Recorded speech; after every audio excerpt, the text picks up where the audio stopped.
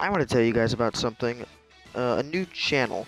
It's my second channel, and it is called Shfink. That should be kind of obvious. Shfink is going to be a place where Gumball Abridged and other stupid random stuff is going to be. If there's anything random, it's going to be on Shfink. The reason Shfink exists is because I don't want our channel to get super cluttered. I want it to stay kind of focused on certain areas and certain aspects. And also, I've been one, I've been thinking about this for a while, and I'm like, you know what? Today, I just had the feels, and I was like, you know what? I need to make a place where I can have Gumball Abridged safely without it being super cluttered by everything else. So hopefully you guys can go over to Shfink and subscribe.